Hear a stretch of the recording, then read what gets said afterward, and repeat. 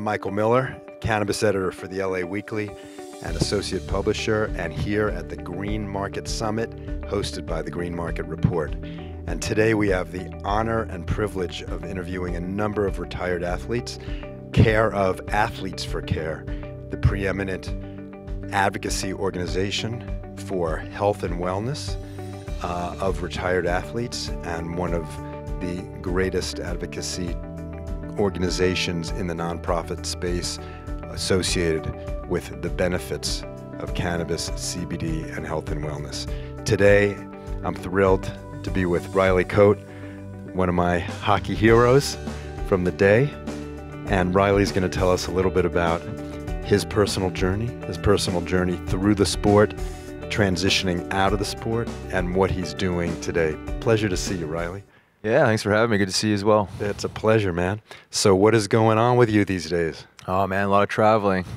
Yeah, I've been uh, all over the map, just uh, you know, along with the uh, Athletes for Care program, education, and uh, my own hemp derived CBD uh, brand as well as keep me keep me on the move. So it's been fun. You found a good CBD brand to help you out.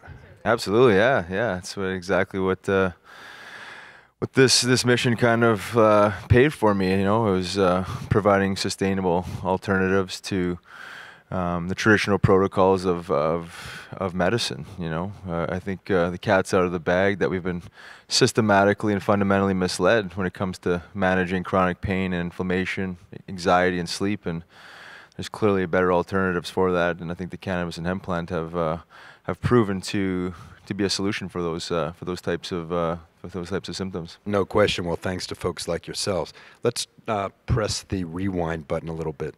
Um, back to the day. How many years did you play in the league?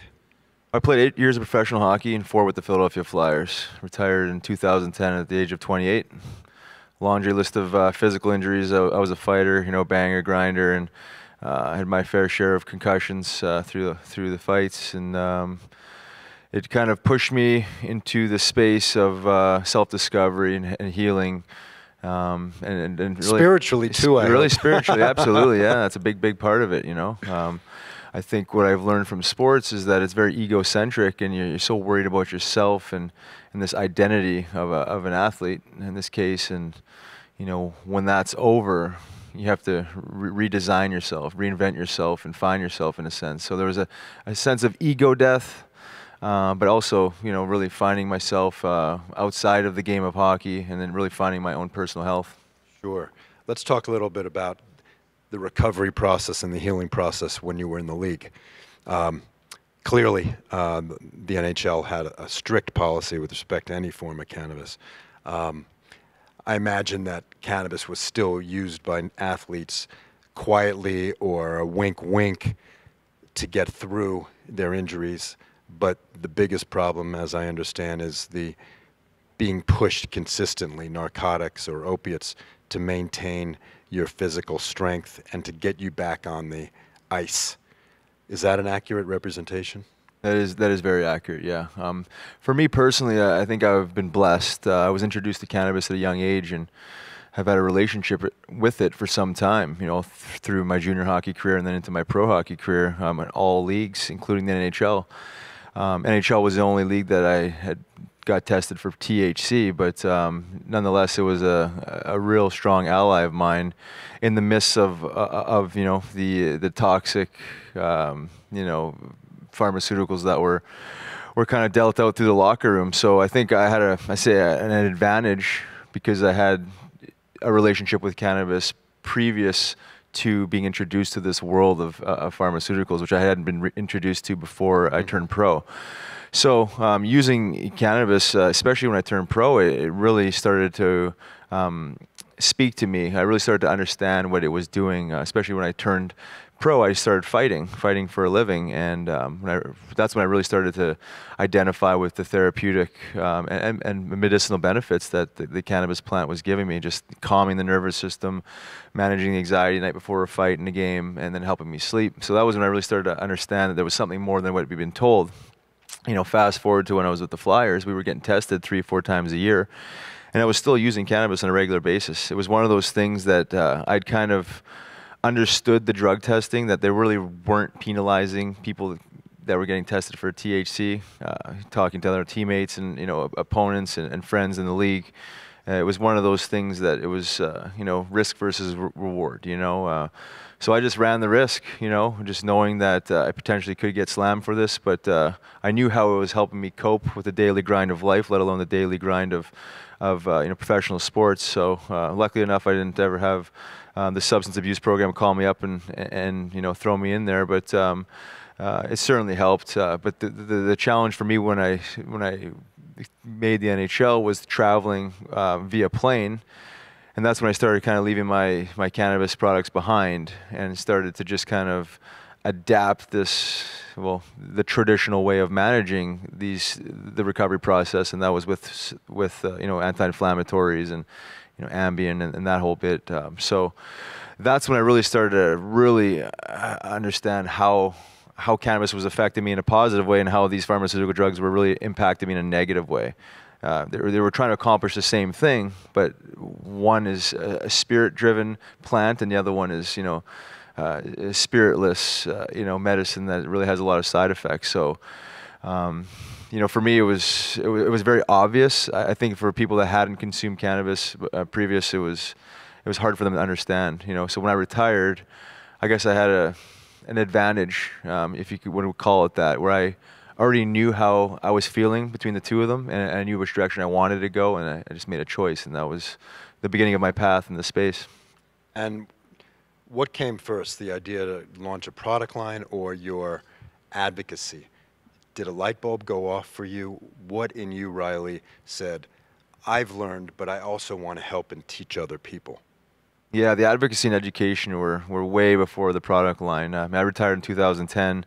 2011, I started a nonprofit called the Hemp Heals Foundation, really focusing on nutrition, hemp nutrition, you know, the digestibility of the, the, the hemp seed, the nutritional profile, and then bleeding into the industrial applications. And then I started to understand these non-psychotropic cannabinoids like CBD. So the first five, six years, even before Athletes for Care was formed, was just strictly pound the pavement talking about cannabis in, in all its forms and how it can help not just public health but environmental and economic health as well. And then eventually, uh, my advocacy efforts led to the really the foundation and platform of the, the sports world, and started meeting these other athletes, different sports that had similar stories, similar experiences with cannabis in, in one way, shape, or form, and um, you know, the circuit continued, and then we kind of made it official and, and, created an organization called Athletes for Care to, to really to really hone in on, say specifically the athlete, um, the, uh, creating a support system, uh, offering alternative medicines, but but not selfishly just for athletes. You know, using that platform to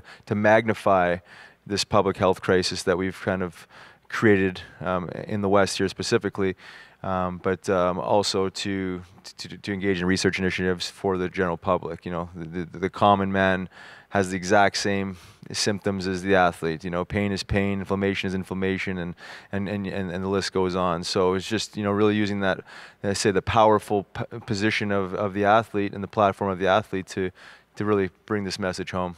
Sure, terrific. And so you're in a period of advocacy. You're retired. What's the light bulb moment where you say?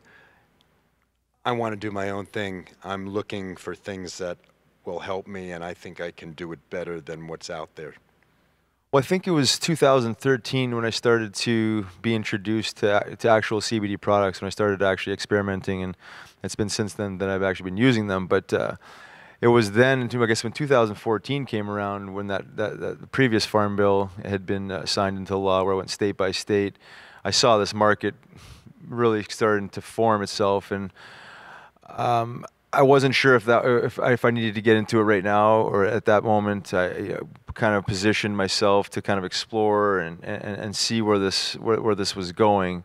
So the idea was planted in say 2013, 2014 in that range. I didn't uh, actually launch our product line until uh, last year.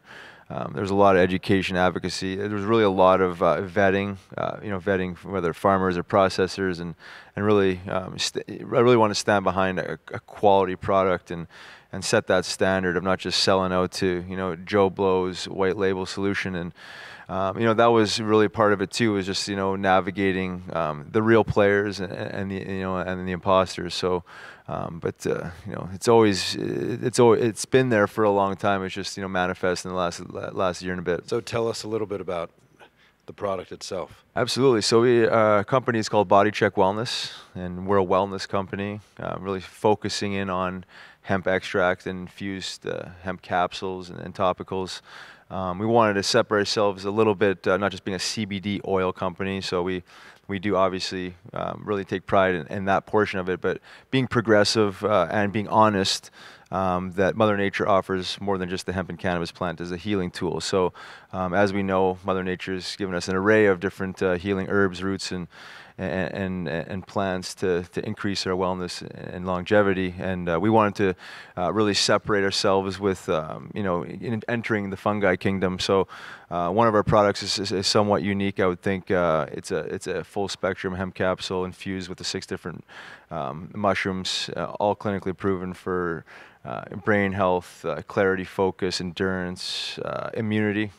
Um, so really tapping into that world, knowing that the mushroom kingdom is, is, is essentially, um, I say untapped. Uh, it's it's it's just like cannabis, I guess. It's it's it's misunderstood, and there's a lot of uh, a lot of connection between the two. If you want to look at uh, you know the nutritional element of, of mushrooms and comparing it to the hemp plant, you know, and then getting into the medicinal side and getting into the you know uh, the industrial applications and economics. So mushrooms are you know very very powerful as you read about them and learn about them, and they're ancient as, as ancient as the cannabis plant. So I just wanted to really focus on the brain, brain health. Uh, uh, in my previous life, I was a fighter, like I said earlier, and you know, been punched in the face many of times. So just really you trying can't to, tell your nose is perfect. Oh, perfect from this angle, and then you put it in the light, and it uh, it shows its true colors. But M- movie uh, star Tom Cruise looks right. Got a couple different angles here, but uh, but yeah, really focusing on brain health. You know, I'm obsessed with the brain. Um, you know, the concussion issue, the CTE.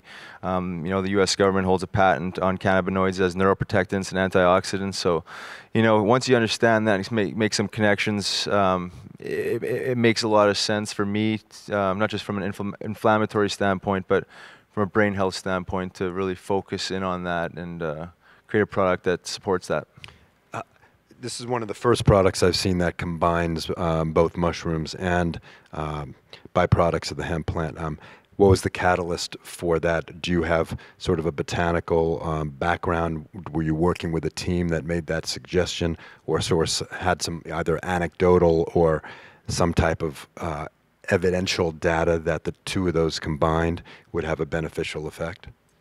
Well, I think when I uh, hopped on my journey of uh, you know personal growth and spiritual development, I started taking a few classes through American Institute of Holistic Theology.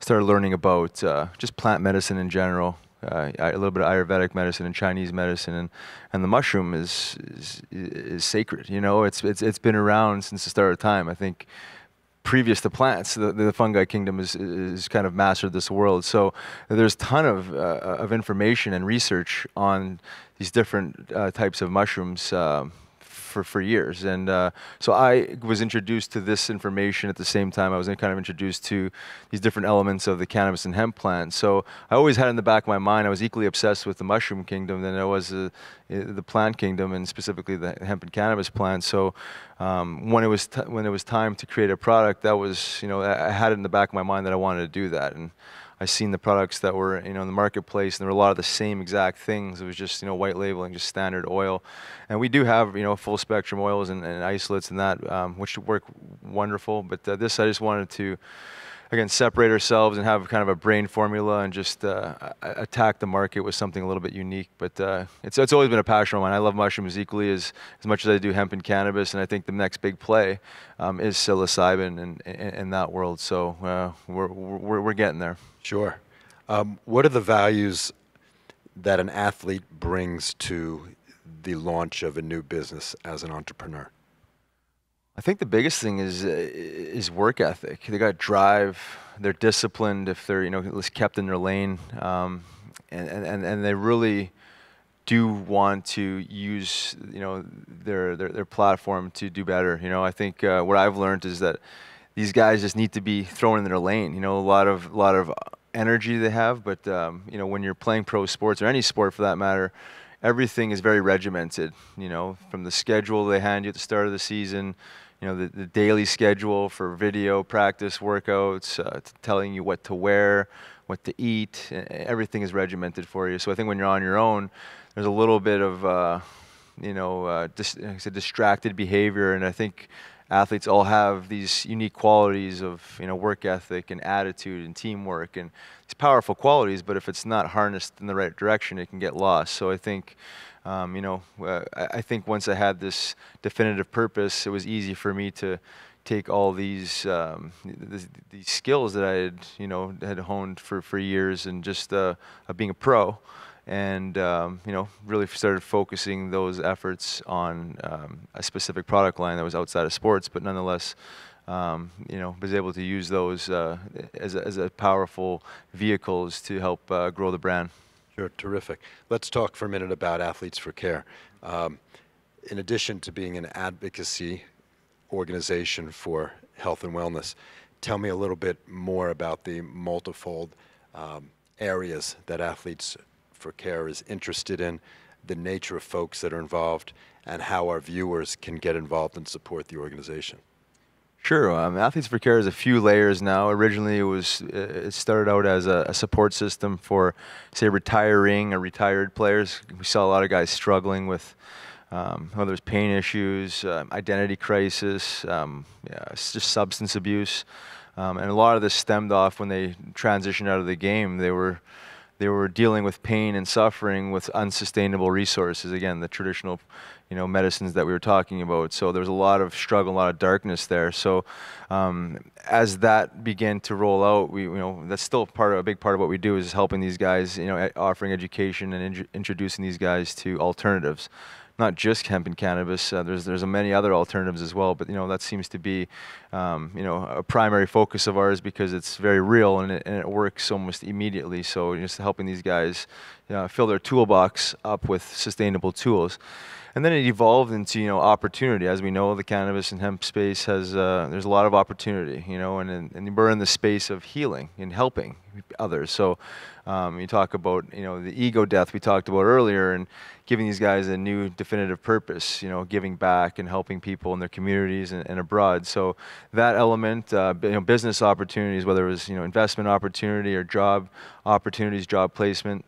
Um, and then just you know the, the research component. You know, obviously we need we need some some real tangible research to to validate all these anecdotal stories we're all sharing. So, um, you know, that component is not just again selfishly for the athletes. You know, that's the research we want to get out to the general public because, as we know, the, you know, we all need this. We all need this, and um, so there's a, you know there's a, there's a there's a few arms, but uh, you know the, the cannabis and hemp portion of it again are just uh, small pieces to the overall you know um, conversation of wellness. So we really talk about mindfulness in the sense of you know meditation and, and, and yoga and these you know these mindful practices that help um, create healthier minds and people. You know because as we know it's uh, it's not just one one tool that's going to help us. It's it's a series of tools and behaviors and.